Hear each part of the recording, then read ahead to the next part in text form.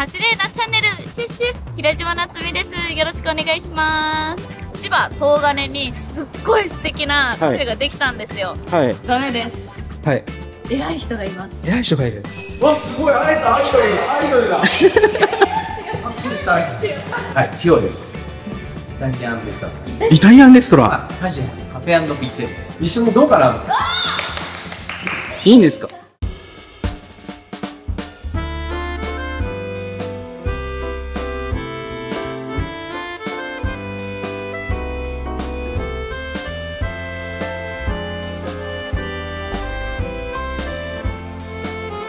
あそこの56の前にバイクを止めると見えるのがいいですね。ここはねはい。特等席でですよね。私は前回来た時私の目の前に止めました。からあ、ここにね、はい。ここに止めてれば正解だったんです。そうそうそうそうですね。あの何回か来ていただけるとどこに止めたら自分のバイクを見ながらなるほど。食事をできるか分かる。なんかシェフはすごい生地にこだわりが。こだわりが。えー、言わないんですよ。全然言わない言ってくれないから。見られて緊張しちゃった。すごい。うわ。あートマトソース大好きなんでどんだけでもお願いします。ほらね定番のね。うん。ねほうおーかっこいい。いやーし。っかい。わーチーズが伸びててる。うーん。うん。おいしいあります。まずはまずはまずはマルゲリータですね。レモン絞ります。熱いうちにレモン絞ってだって。あ僕の YouTube はなっちゃんの食レポ番組になってる。後半。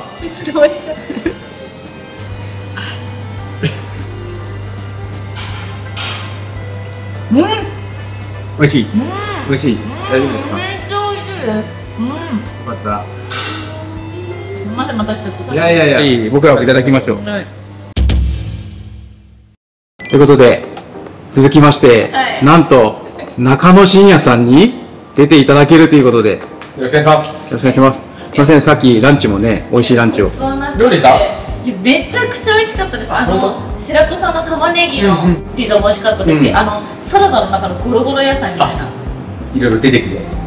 やそれなんか私たち払いますよって言ったのにまさか。今日せっかくね芝まで来ていただいたんでありがとうございます。わざわざね、日程を空けていただいて、えでもお昼までいただいて。来て。もらえるだけで嬉しいですでもマットさん的には中野さんに喋ってほしいこととかあるんじゃないですか？ああ、そうなんですよ。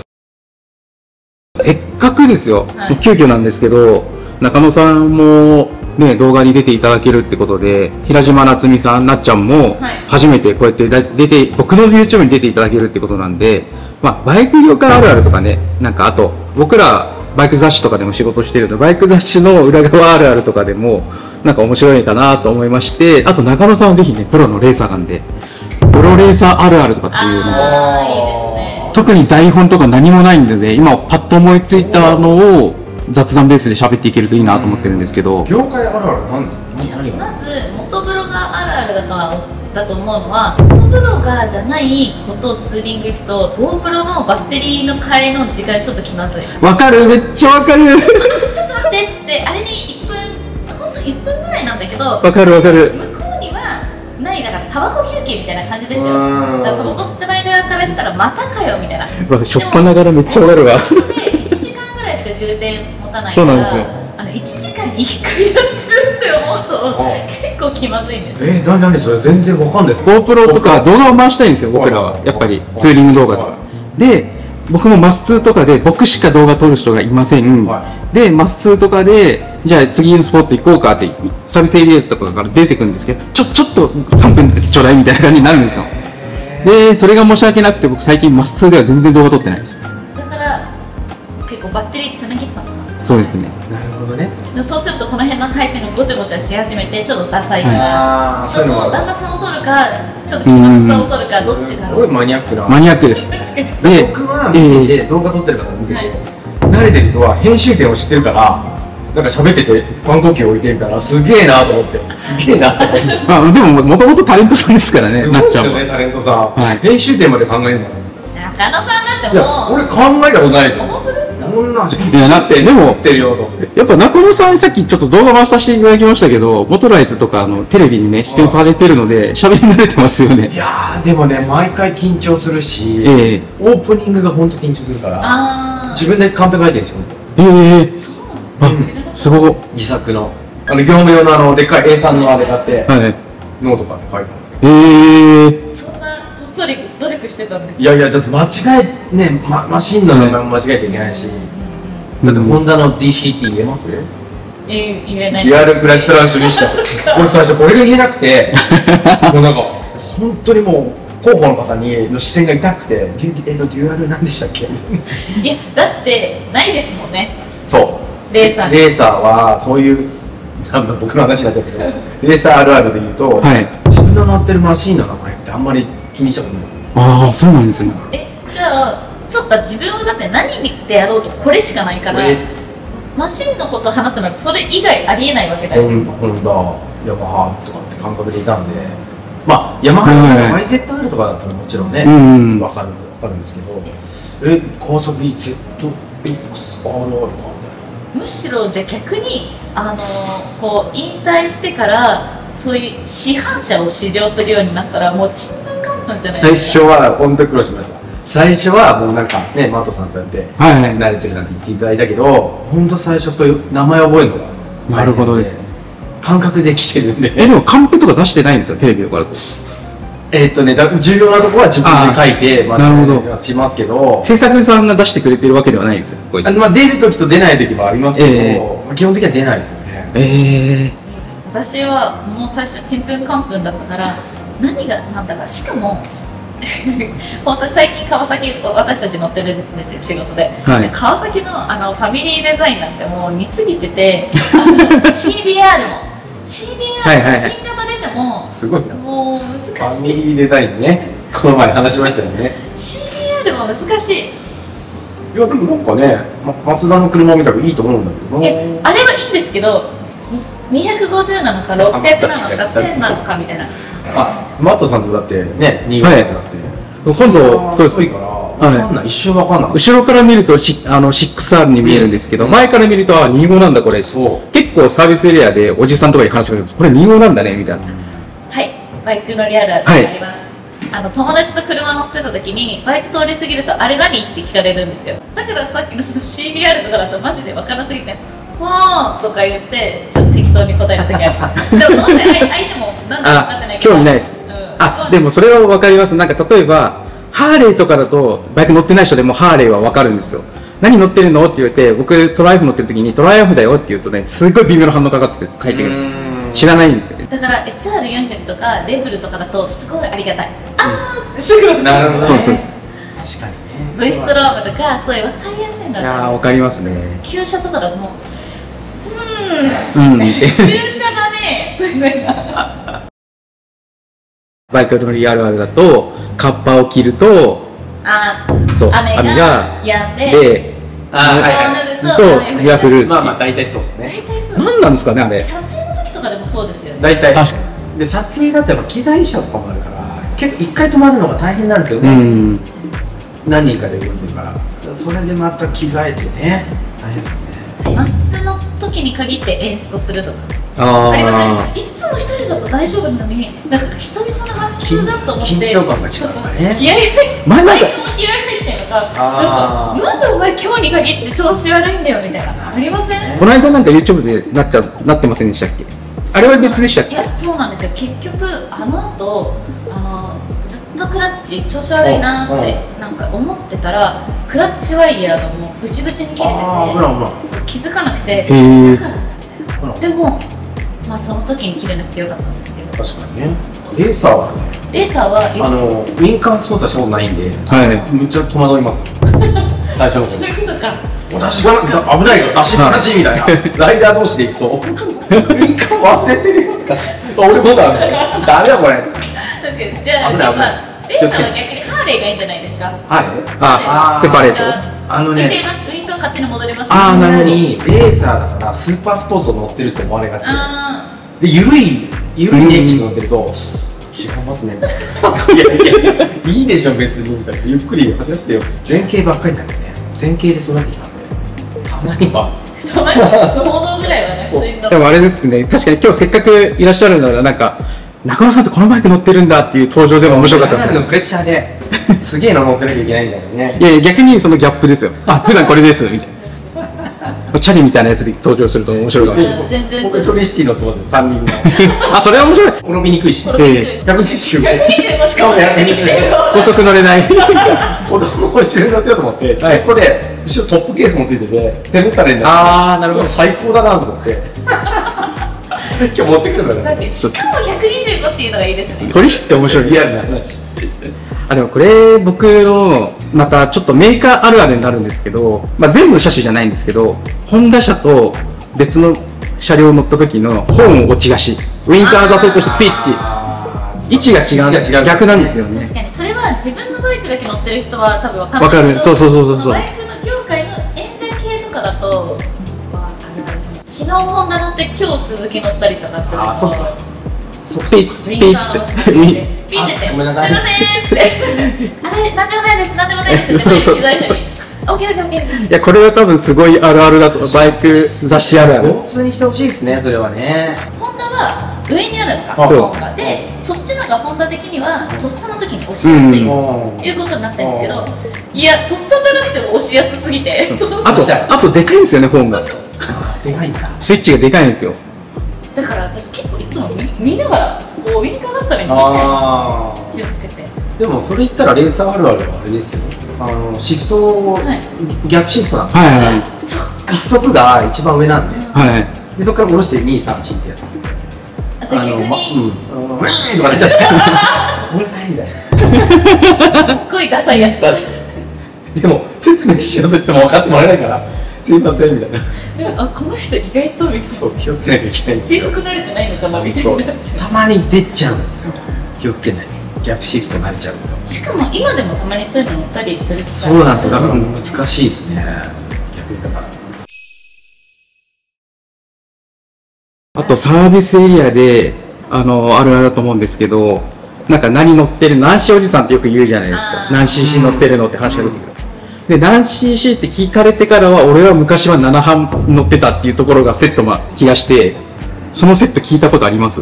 言われたこと。ああやっぱそうですよね。まあねおじさんの、まあ、僕もおじさんなんで代弁すると結構でもやっぱ7班の現実に対して昔の免許取るってすごい大変だったうんでうん。僕もその世代じゃないか分かんないけどなんか今教習所行ってなんかいろいろ教えてもらって、はい起こせなくてもこうだよなんて教えてもらうんだけどまだ僕の頃も最初厳しかった僕の時代はまだ普通免許で中型免許です。から、はい。あのレースやるのに必要だったのでライセンス取るのに。ああ、そうなんです。それで必要だったんで取ったんですけど、え最初起こせない。コツが分かんないから力任せにいけると思ったら起こせなくて「やばい落ちるぞ」ってすごい言われてうわ怖っと思って、えーそれ厳しかった時代でした。そうなんですまだっていうかライセンス取るのに中学免許そう、僕も今びっくりしました。そう。今のライダーって無免許。そうそうそうそうそう。原付しか持ってない。そう。今は今はもうなんか13歳だとか、もう全然乗れるんですよ、はい。だけど僕の時代はサーキットのライセンスを取るのに中型の必要なんオーです。トバイ免許えー、平島さんとほぼ同同世代なんですけど、同世代のプロのレーサーさんたちとたまに話すと、はい。僕行動走れないんですよねっていう人が多いんですよ、プロのレーサーさん。そうそうそう。だから僕も正直その時はレースしかやってないから、はい。ライセンス取るために免許を取った。えー、いやそう時代が違うんだ。すぐ取らないと、ええ間に合わないあのそのシーズン。レースに。レースに間に合わないから、うんうん。僕の時は教習所に話して市場を話してその予約をとりあえず入れてもらってとかあちょっと優そこは優遇してもらってとか。ありましたーえー、これ全然世代で違うんですね。そうだから7班はね結構大変だったみたいです その思い出があって、昔は7半までがセットなんです。大変だったんだろうな。あと私気になってるのがあのレーサー同士って絶対今より昔のが仲悪かったと思うんです。バチバチ感を隠さない今の方がやっぱりこうそういうファンサービスも含めて、うんうん。こう選手同士で話すこととかもきっとあるだろうし、横確かに。並びになった時に,、うんあのイメージを悪くしないためににこやかにいると思うんですけど、うん。当時から絶対バチバチだったはずがあるんですけど、勝手な予想ですよ、はい。まあねライダーあるあるの中でそれはあるな。ねでもそれってやっぱ引退してからはどうなんですか？あで今もね引退するとするやっぱ現役と引退でも全く違うし、はいはい。現役の時はやっぱ余計なこと喋っちゃいけないみたいな。えー。ああるしもう相撲取りも今日うれ嬉しいですねおい。おいってだけでしょ。同じ感じですよ。僕らも。余計なこと言わないで、まあ、僕はヤマハのライダーずっと長くてあはい。やっぱ他のメーカーのライダーとは喋るなとは言われないけどやっぱ情報交換ももちろんなんだし一切そういうの言わない関わらないみたいなあ朝も、まあ、挨拶はするけどそれ以上なし。そういう時代で、まあ、その通りですよ。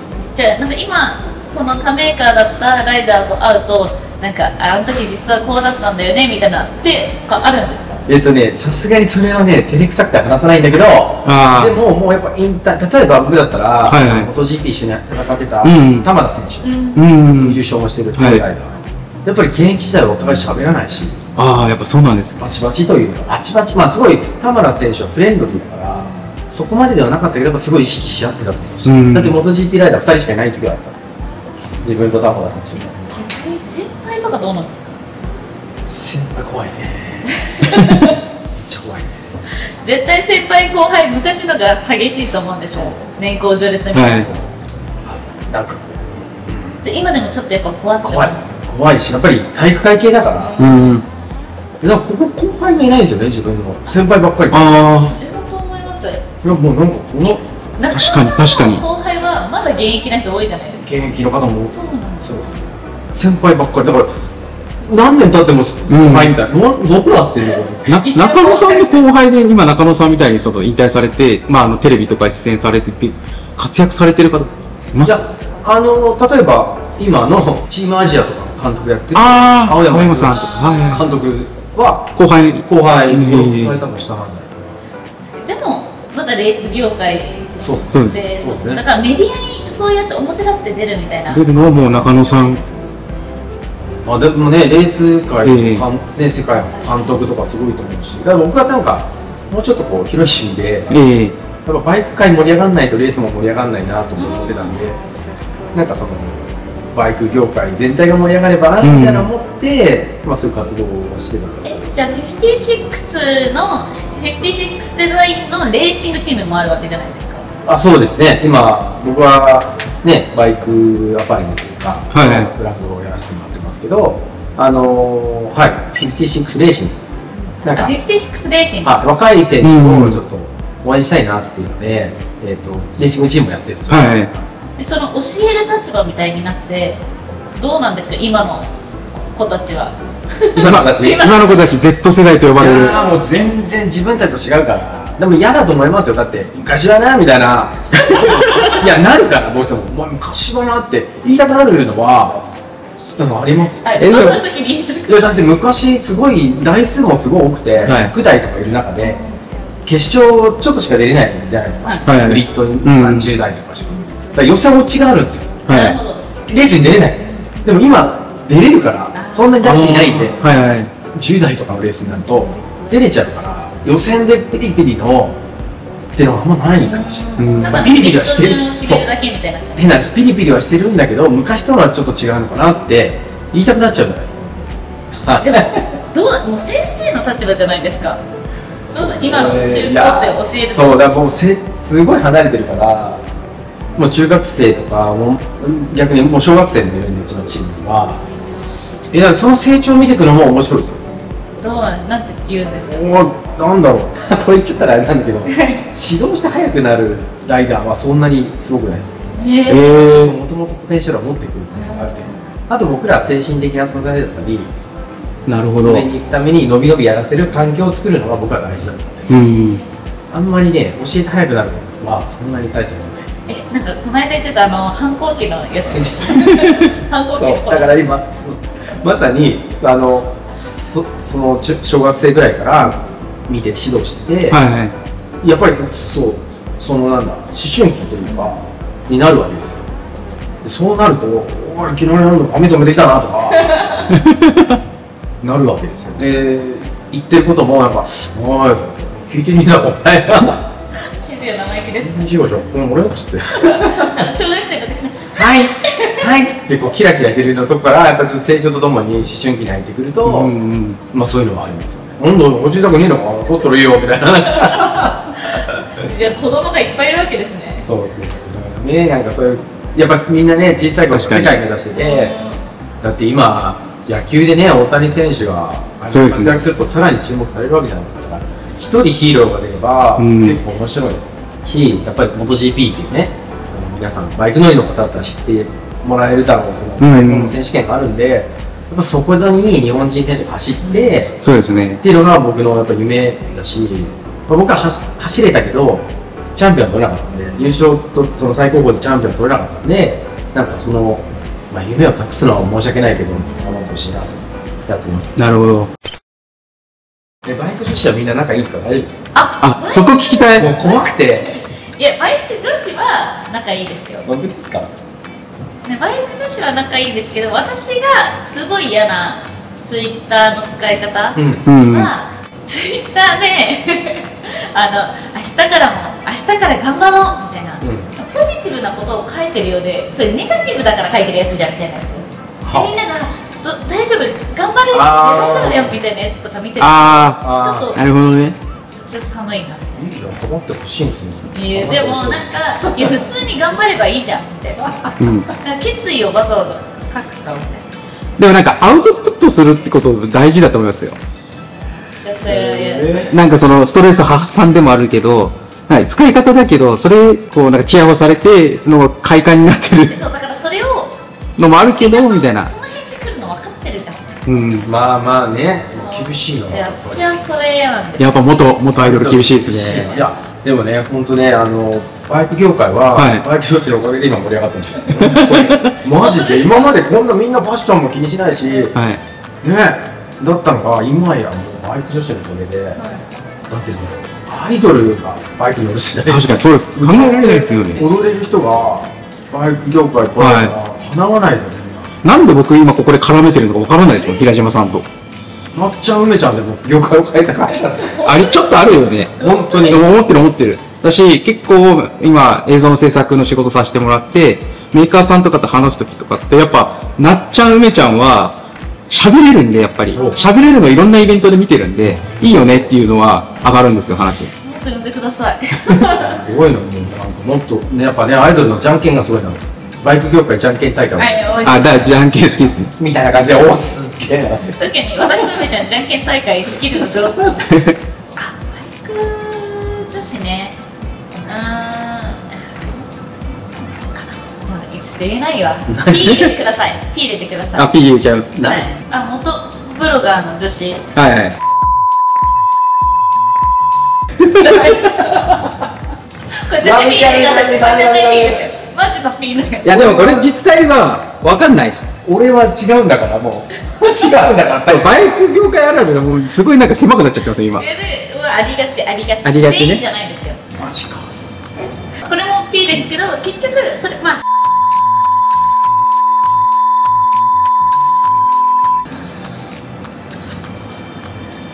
中野さんがショックを受けてる。